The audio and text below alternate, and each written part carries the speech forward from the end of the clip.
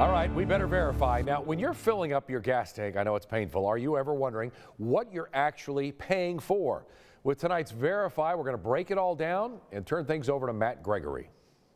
It's another day of ridiculous gas prices here. And when you look at that number there, one of the questions you'll probably have is what exactly are you paying for in there? Well, the largest, according to our experts, is the crude oil price, which over the last month has gotten out of control.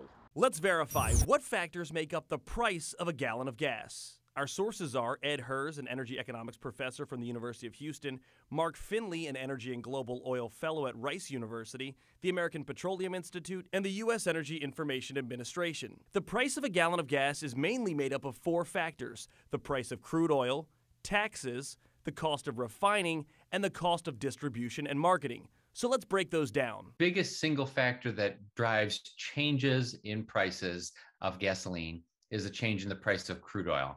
And the price of crude oil is not controlled by the companies. It's set in a global marketplace as a result of global ch- trends in demand and supply. A little more than half of the price of the gasoline relates to the price of crude oil.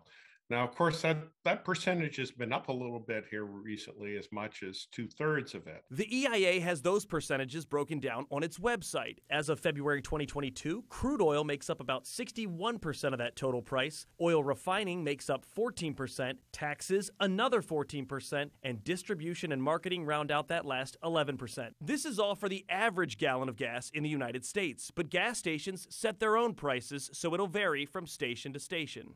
So you might ask yourself, how much does the gas station make off that $4.45 a gallon? According to our experts, on average across the country, gas retailers only make about 5 cents per gallon of gas they sell.